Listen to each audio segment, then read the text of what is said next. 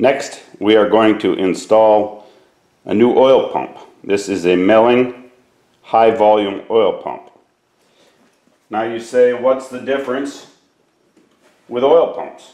Should I go with a high volume or should I go with a high pressure? Stock oil pumps are said to have 10 psi of oil pressure for every 1000 RPMs. So at 2500 you'd have 25 pounds of oil pressure. With a high volume oil pump, it does not increase the amount of pressure, but it increases the amount of oil flowing through the bearings, which is good for an older engine, which has a little bit more bearing clearances, which is what I have here. Now, this Melling pump comes with the pickup, and it also comes with a solid steel shaft. Normally on a Chevrolet, it has a little plastic retainer here that keeps your uh, pump engaged. So this one comes with the all steel one. Melling recommends that your oil pump pickup be about a half an inch above the bottom of the pan. I measured my pan and my pan is 7 and 3 eighths of an inch from the mounting edge to the bottom of the pan. So I want to be at about 7 inches with my pickup. So I hold my pickup at 7 inches to the screen and then make a mark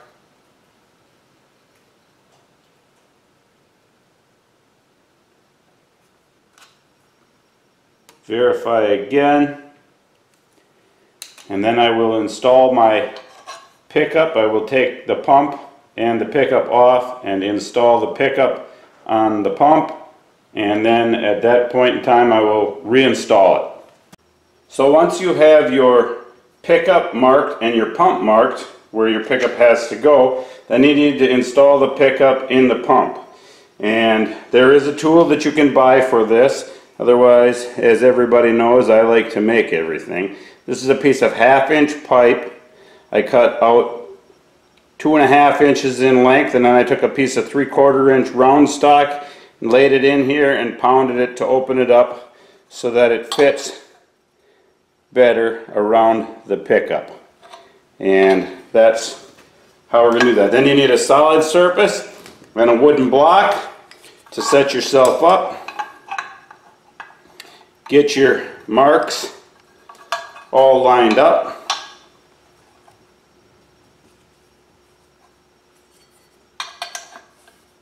Put your tool on there. Set your pump down. Hit your hammer. Hold it all straight, lined up.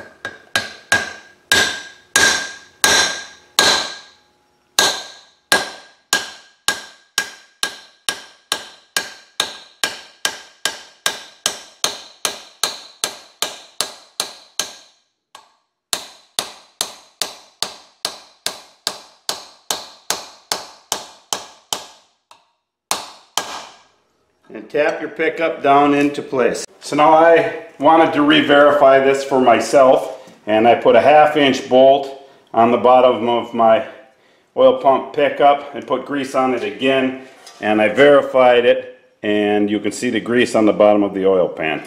So this, that means the screen will be about um, almost three quarters of an inch from the bottom of the pan but I'd rather have it uh, picking up clean oil and not any sediment or uh, shavings from the bottom of the oil pan. Now I have run a quarter inch tack from the cast body to the pickup. Realize that this needs to be a nickel rod because if you use a standard ER70S2 rod when you're welding this it will crack because of the cast. So you need to use a nickel rod on this. You need to heliarc it. You also want to hook your ground to the pickup, not to the pump body, because then you'll be going through the gears and you could damage some of the gears inside of here. So you want to hook directly to the pickup with your ground, and then you want to start out with your heat on the pickup tube and work up towards your, your cast body. Get your tack on there. Milodon makes a very unique rubber one-piece gasket. Stops gasket leaks, reinforced steel inserts around the bolt holes so that it, you can only pull it down so tight. It never can be over tightened and it's reusable. Um, being I'm kind of untrusting sometimes, I will still put a little bit of silicone there, there, there, and there, which are the always leak spots uh, on a small block Chevy. So I installed a little silicone on each corner. Don't get crazy again. Uh, you only want a little bit.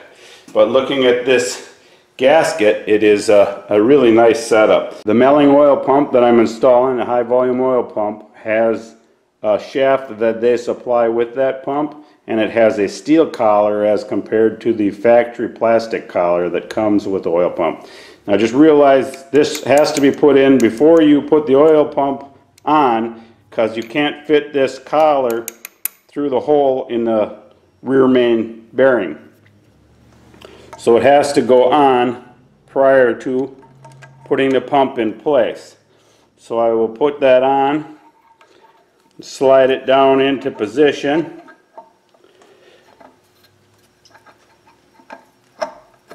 Get it all the way down on there and then it slides down a little bit, but that's okay. And then I can put my bolt in and I will torque my oil pump bolt down to 60 foot-pounds in three increments. So we'll start out at 20, which is where I'm at now.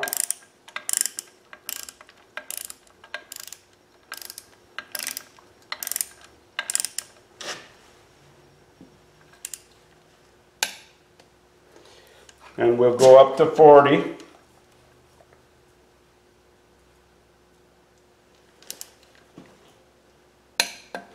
And now we'll take it up to 60.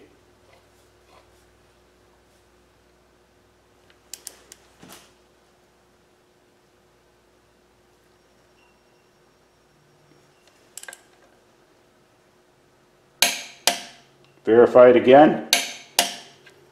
And the oil pump is installed and now we can go into installing the oil pan.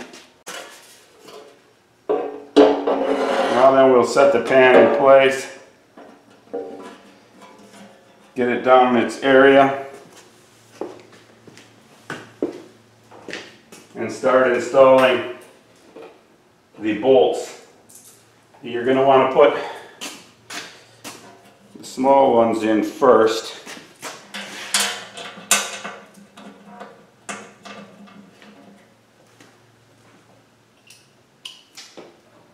They're quarter inch. Take on the Milodon ones, which I bought all new, they take a 3 8 socket. You want to get everything started before you start pulling it down, provided you can get them all in. Sometimes you gotta, the bigger ones on the end, you may have to pull quarter inch ones down before you can get the 5 16ths end bolts started because they have a little thicker piece of plate on the end and they don't make the bolts any longer.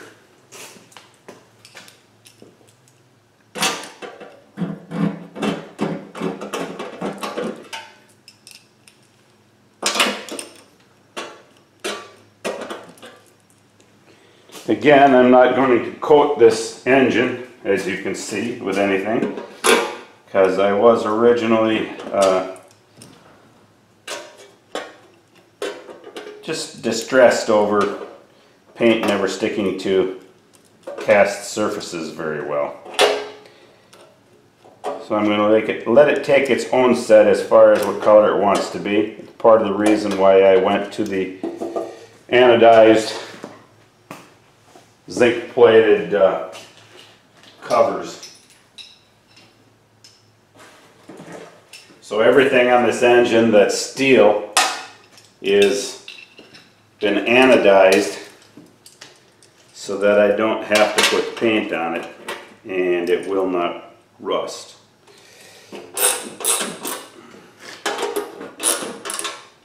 Okay, I'm going to take them down a little bit and now we'll see if we can get these end bolts to start.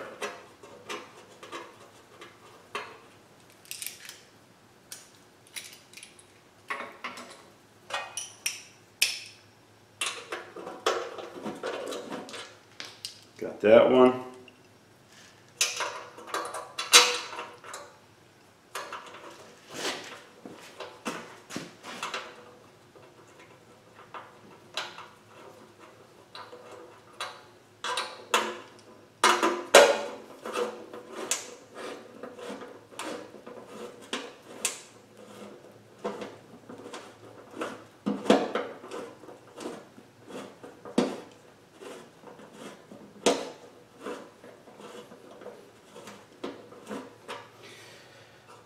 Well, you don't need to sit and watch me do this. I will get that on my own time, tighten these down good, and I'll be ready to turn the engine over and uh, start putting the heads on.